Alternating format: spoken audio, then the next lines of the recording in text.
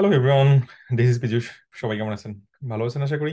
আপনারা জিমেলের একটা নতুন আপডেট দেখছেন কিনা? জিমেল ব্লু ভেরিফিকেশন ব্যাজ দিচ্ছে রিসেন্টলি এবং এটা এখন রোলিং ওভার হচ্ছে প্রতিটা কান্ট্রিতে আস্তে আস্তে আপনারা হয়তো এখন দেখতে পাবেন এবং ইন ফিউচারে ডেফিনেটলি আপনারা নিজেরা করতে পারবেন।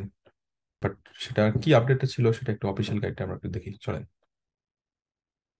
এখানে একটা ইমেল দেখেন। এটা অ্যামাজন ডট সিএ এখানে একটা ব্যাচ মার্ক দেখতে পাচ্ছি এবং the sender of this email has verified that they own Amazon dot C and the logo in the profile image এবং এখানে ডিটেল গাইড আছে, আমরা সেটা নিয়ে কথা বলব।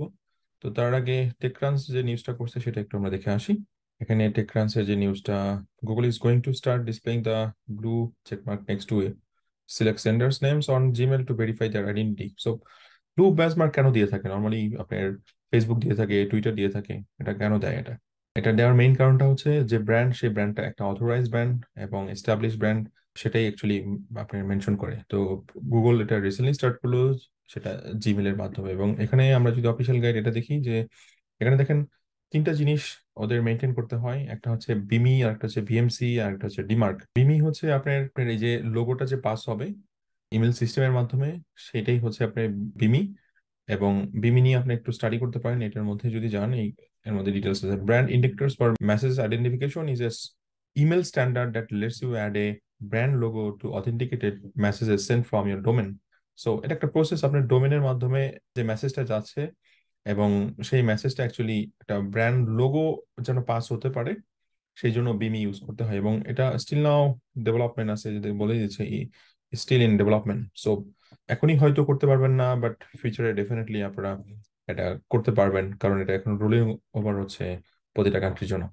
আচ্ছা একটা হচ্ছে ভিএমসি ভিএমসি হচ্ছে সার্টিফিকেট অর্থাৎ হচ্ছে লোগোটা যে আপনি সার্টিফাইড করবেন, সেই প্রসেসটা হচ্ছে ভিএমসি এখানে ক্লিক করলে ভিএমসি ডিটেলসটা পাবেন।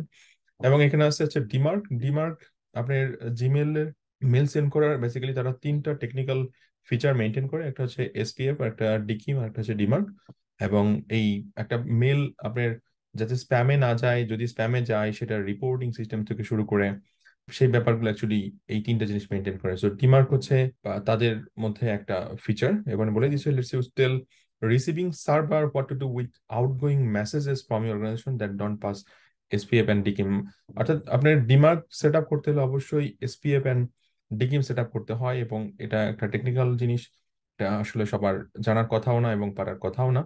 বাট যদি আপনারা কোল মেলিং সিস্টেম পারেন, যেমন আমাদের একটা কোর্স আছে এজেন্সি বিজনেস মাস্টারমাইন্ড সেখানে আমরা এগুলো নিয়ে ফার্দার ডিসকাস করছি। আপনি হয়তো সেখানে এই ডিটেলসগুলো খুব সহজে জানতে পারবেন এবং খুব সহজেই মেল ইনবক্স করতে পারবেন। ওকে বাট এই তিনটা ফিচার এই তিনটা ফিচার উপর বেস করেই বেসিক্যালি আপনার ইমেল ভেরিফিকেশনটা হচ্ছে এবং আপনার ব্র্যান্ডের নামের পাশে এখন থেকে ব্যাজ মার্ক অ্যাড করবে গুগল যদি আপনি এই তিনটা জিনিস মেনটেন করেন। ওকে বাট এখনও এটার ফুল আপডেটটা আমরা পাইনি বাট খুব তাড়াতাড়ি আপডেটটা পাওয়া যাবে এবং আমি ডেফিনেটলি সেটা নিয়েও ভিডিও বানাবো। আশা করি বুঝতে পারছেন। নেক্সট ভিডিও দেখা হবে। Thank you guys